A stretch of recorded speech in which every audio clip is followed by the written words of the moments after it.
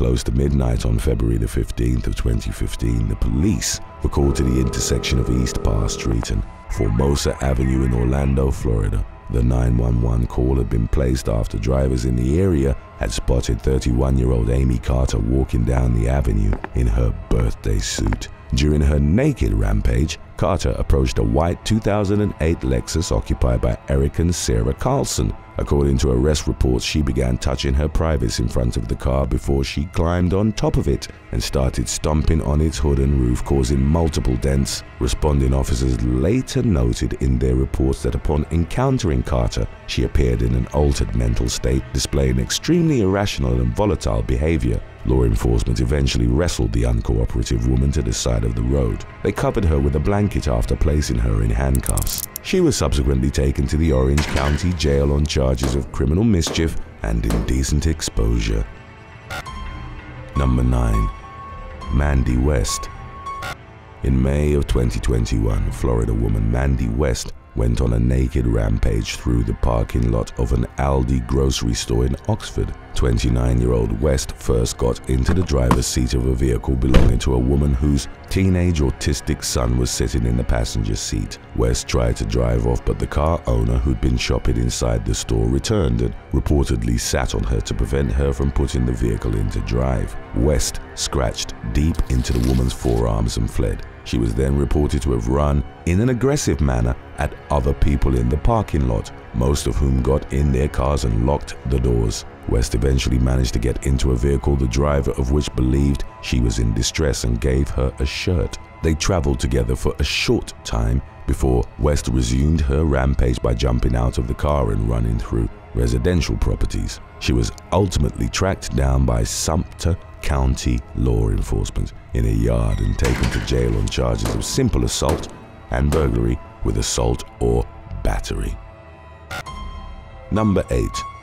Carla Bales Law enforcement in Chillicothe, Ohio was called to a home on East 2nd Street in the summer of 2023 to reports that a woman was wearing her birthday suit in public. Responding officers found Carla Bales standing on her front porch, fully nude, and in full view of other residents. She refused multiple requests from the police for her to step outside but was ultimately handcuffed and arrested. Bales was taken to Ross County Jail on charges of public indecency. Her refusal to comply with the officer's orders resulted in additional charges of obstructing official business. The woman provided no reason for her behavior. Number 7. Matthew Bernard on the morning of August 27th of 2019, multiple Virginia law enforcement agencies including the Pittsylvania County Sheriff's Office and Virginia State Police went to a home in Keeling following reports of a shooting. Officers found 62-year-old Joan Bernard dead in the driveway. Upon making their way inside the home, the police discovered the bodies of Emily Bernard Bivens and her son Cullen. The latter two victims were reported as the wife and child of Tampa Bay Rays pitching prospect Blake Bivens. The family's dog was also found dead in the living room. The killer was identified as Matthew Bernard, who was Joan's son, Emily's brother, and Cullen's uncle. A three-hour manhunt ensued and residents were told to look out for the suspect who was described as armed and very dangerous. Bernard was subsequently located, unarmed and fully naked, in a wooded area. A video captured by WSET-TV showed the triple murder suspect running from the police in a church parking lot. One officer maced Bernard in the face and he subsequently moved towards the direction of the camera person. He then tried to strangle a church caretaker before an officer pulled him off. Bernard was eventually apprehended with the intervention of a canine unit as he was running towards a police blockade. He was charged with three counts of first-degree murder. While in the back of the police cruiser, Bernard repeatedly banged his head against the cage and had to be treated at a local hospital. He was pictured wearing a bandage in his mugshot. Bernard's reasons for killing his family members remained unclear, but one of his cousins told the Daily Mail unfortunately he was suffering with mental illness and came to a breaking point. Updates on the matter indicated that Bernard had been deemed incompetent to stand trial. Number 6.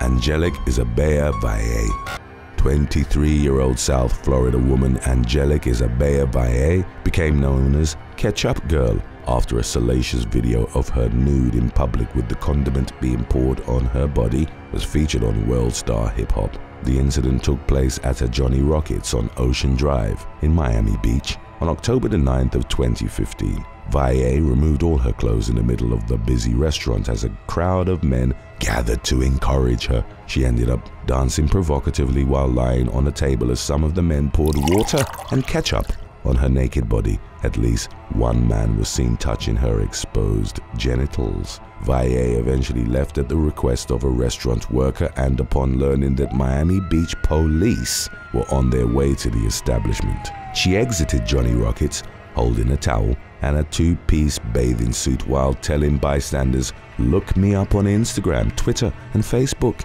The restaurant management stated that Valle had caused damage to glasses and tables amounting to a total of $420. The video of Valle quickly rose to over a million views and thousands of comments, most of which were critical of the woman's actions. Valle unapologetically responded in an Instagram video saying, You're just mad because you weren't there, adding that the experience had been fun for her However, upon learning that the police were looking for her, Valle posted another message that read, I'm going to jail tonight, remember me, okay? I love all of you guys. Valle was taken into custody on charges of incitement to riot, indecent exposure, lewd and lascivious behavior, and disorderly conduct. The man seen touching Valle in the video was also wanted on the former charge. Valle was seen crying during a court appearance in the wake of her arrest, the woman's father also attended the hearing and stated that she needed medication and had gone through mental health crises in the past.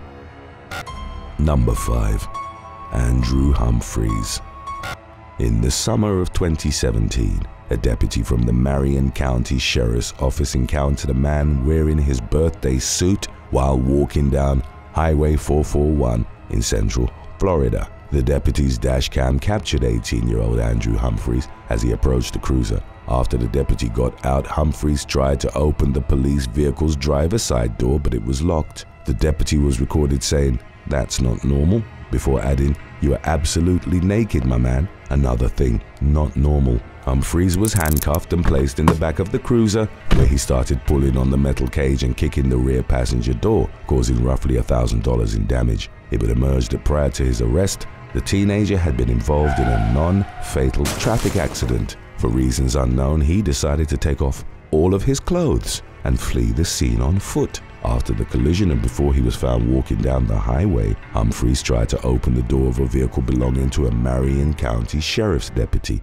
He pulled the door handle off the vehicle and then urinated on it when he couldn't get inside. The teen, who denied being under the influence, was charged with one misdemeanor count of criminal mischief and one count of felony criminal mischief property damage of $1,000 or more. Number 4.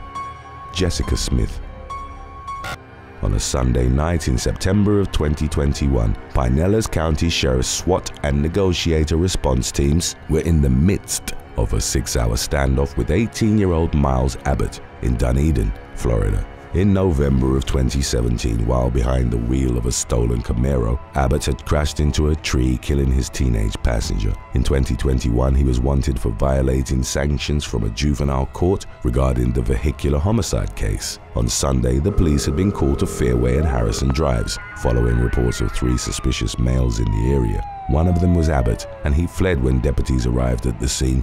Law enforcement followed him with canine units, and the teenager fired a gun at bystanders and accidentally shot himself in the thigh during the chase. He then climbed the roof of a home in the Thousand block of Michigan Boulevard and pointed his gun at the law enforcement officers below. From an armored car, local SWAT teams fruitlessly tried to negotiate his surrender at one point, even bringing Abbott's sister at the scene. As the tense standoff unfolded, a 28-year-old woman suddenly drove a golf cart through the crime scene. Jessica Smith from Boston, Massachusetts, was completely naked behind the wheel. She ignored the officers commanding her to stop and headed straight for the house where Abbott was positioned. Deputies corralled and arrested Smith, whom they noted smelled strongly of alcohol. The police charged her with resisting an officer with violence while pointing to the fact that her actions placed them at an additional risk of being shot at by Abbott, who'd watched the scene unfold from the roof. Law enforcement eventually used beanbag rounds to bring him down and took him to a local hospital where he could be treated for his gunshot wound. Number 3. incident in Canada.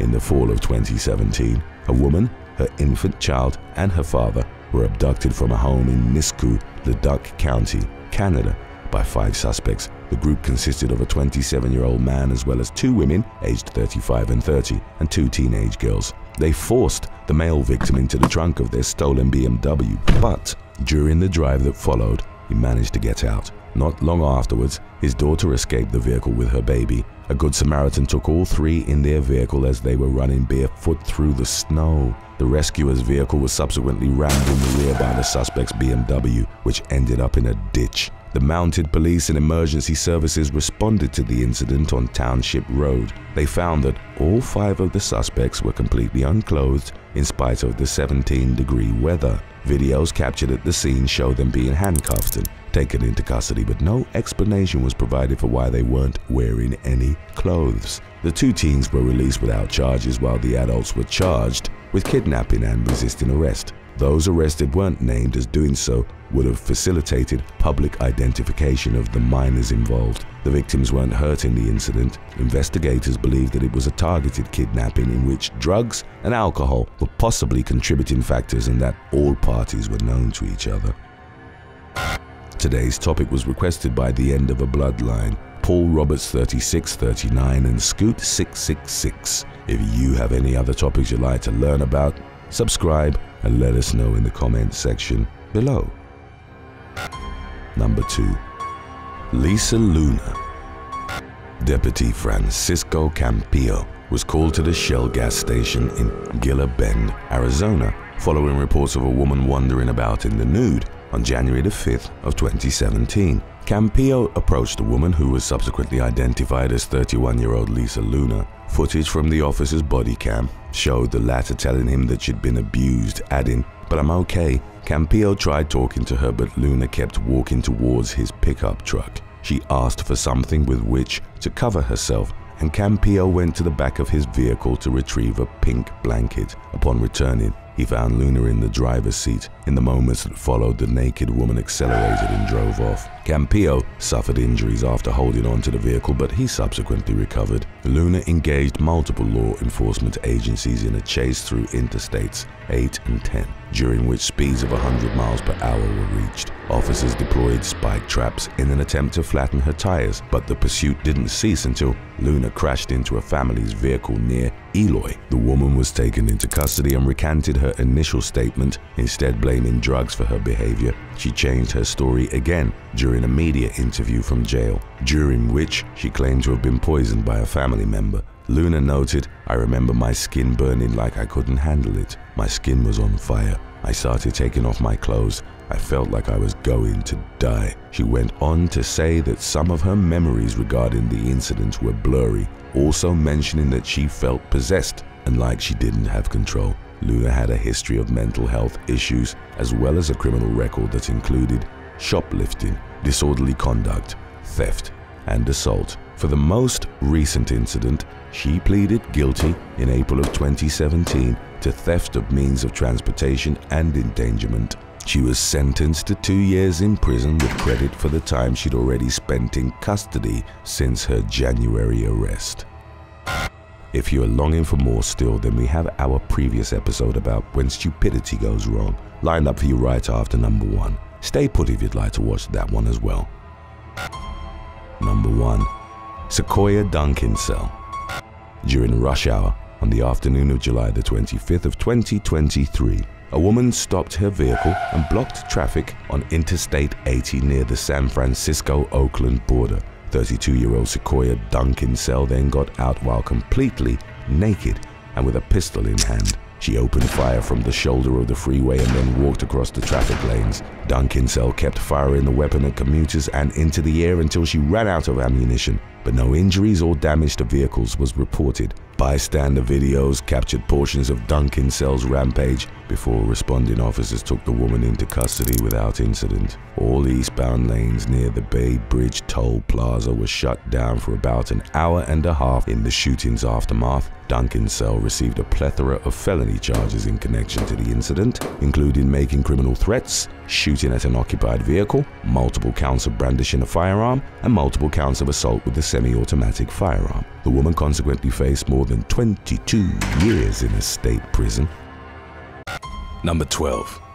Jamie Coates Jamie Coates was a 42-year-old snake-handling pastor who died in 2014 from a rattlesnake bite incurred during a church service at the Full Gospel Tabernacle in Jesus' Name Church in Middlesboro, Kentucky.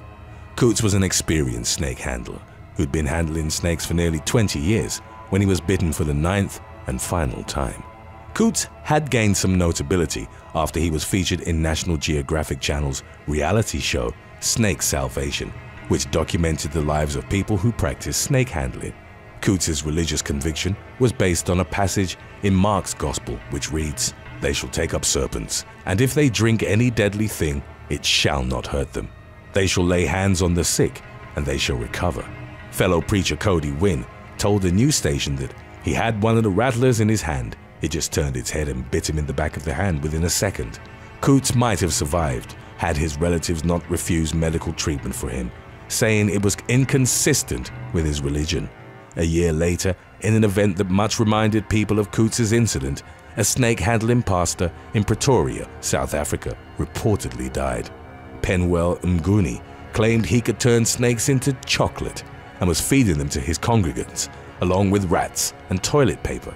According to various news reports, he too was bitten by one of his own snakes, a cobra, and he too refused treatment, succumbing to his injuries not long after. In true miraculous fashion, Mnguni turned out to be alive still after all and was last reported feeding frogs, worms, octopi, and dog meat and blood to his congregants. Number 11.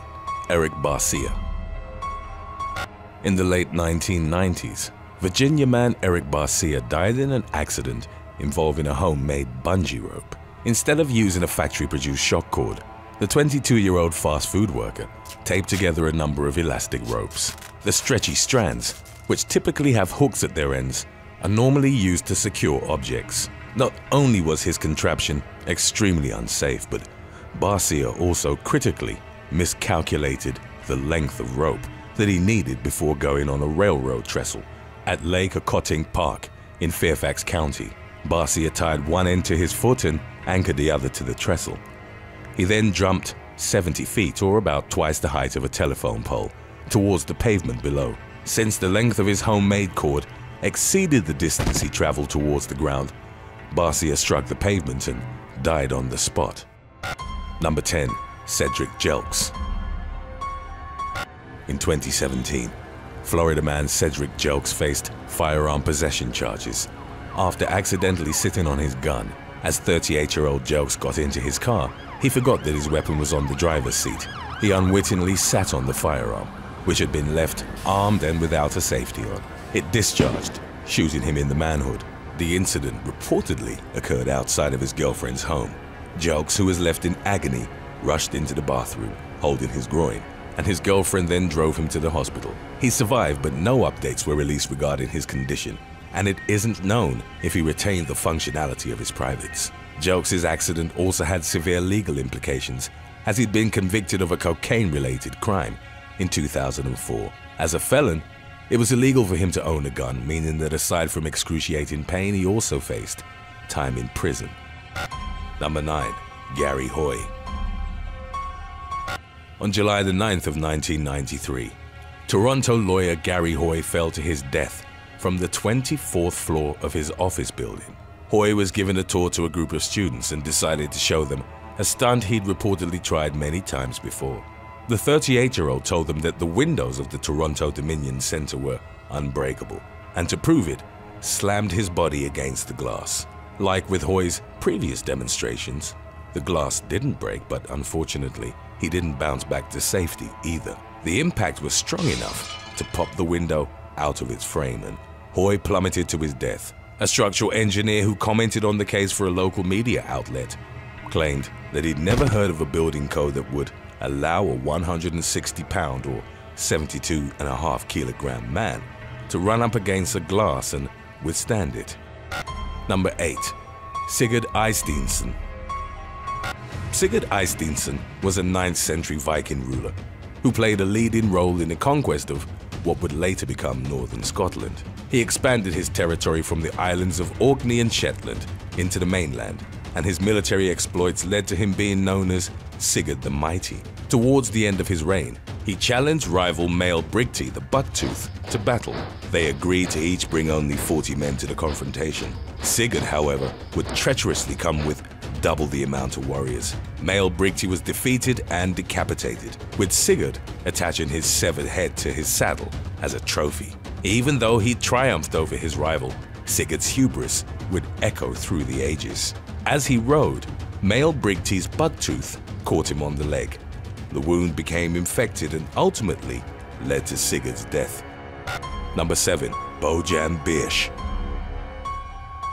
Croatian man Bojan Birch had spent five years behind bars in the city of Pula before an additional eight months were added to his sentence for sending death letters to an ex-girlfriend. About two months before he was scheduled to be released, his behavior became increasingly more erratic to the point that the guards decided to lock him in a rubber-padded cell. Even though he was in solitary confinement with both hands tied behind his back, Birch managed to pull out a lighter that he'd smuggled inside. He started a fire near the door, presumably in protest, or so that he'd be relocated to a regular cell. Security cameras captured the moment that the fire consumed the highly flammable materials. Before the guards noticed the smoke coming out of the cell, it was already too late. Some reports claimed that they'd purposefully delayed their intervention in order to teach Bish a lesson. Whatever the case might have been, the blaze rapidly extended and they could no longer enter the cell. Birch succumbed to smoke inhalation and his body was consumed by the flames. Number 6. Tetsu Shiohara In late October of 2019, a Japanese man took on Mount Fuji outside of the regular climbing season and with minimal equipment. 47-year-old Tetsu Shiohara live-streamed his ill-fated adventure on Japan's tallest mountain. Climbing Mount Fuji is only permitted during the summer, when the snow melts and the huts are open. Shiohara had been on the mountain several times before, but trekking it outside of the warm months is considered extremely dangerous. In terms of preparedness for the treacherous slopes, Shiohara wasn't wearing crampons and had little else aside from a pair of hiking poles. He'd named his livestream Let's Go to Snowy Mount Fuji, and a number of commenters online argued that the title itself denoted the level of ignorance with which he approached the climb. At one point, Shiohara claimed that his fingers had gone numb and expressed regrets at not having brought heat packs. Nevertheless, he prioritized filming instead of personal safety and kept heading towards the summit. After a grueling trek, Shiohara was only a few dozen feet from the top. The man passed the safety fence and then told his viewers that he'd reached a dangerous portion. Moments later, he started slipping, feet first towards the clouds below. Shiohara failed to regain his footing and kept tumbling down the side of the mountain, while his phone was still recording. His lifeless body was discovered a few days later at an altitude of around 10,000 feet. Number 5. Dean Smith In June of 2016, an Australian man was severely injured at a museum after running straight into a wall while racing a virtual athlete. Melbourne's Scienceworks Museum had a special installation in which visitors could attempt to beat a digital version of track legend Cathy Freeman in a race. In the interactive display, a series of images depicting Freeman would sequentially light up to mimic her speed. Visitor Dean Smith, who was in his early 40s, accepted the challenge. Unfortunately, Smith got a little overzealous in racing the digital gold medalist. As a result, he plowed headfirst into the wall at the end of the exhibit. The man was rushed to the hospital, where doctors told him he'd been millimeters away from becoming a paraplegic. He'd crushed a vertebra, fractured an occipital bone, and broken a rib. Smith also suffered a stroke from a crushed vertebral artery meant to supply blood to his brain. He was unable to work in the incident's aftermath. Smith eventually sued the museum, claiming that the inadequate lighting had prevented him from seeing the wall until it was too late. Number 4. Air Freshener Explosion In 2019, a driver narrowly avoided death following a massive explosion that he triggered inside his car. The incident occurred in the town of Halifax in the United Kingdom. While in stationary traffic, the unnamed driver used an excessive amount of aerosol air freshener inside his car, even though it's general knowledge that the contents of such products are highly flammable. The man then lit up a cigarette. The ensuing blast was powerful enough to shatter the vehicle's windows, buckle its entire frame, and even damage the windows at nearby businesses. The driver was extremely fortunate as he'd only escaped with minor injuries. Number 3. Aaron DeBella In September of 2018 near in Massachusetts, 21-year-old Aaron DeBella died after attempting to do a handstand on the bulwark of a cruise ship. DeBella and a few of his friends were on the cruise celebrating a birthday.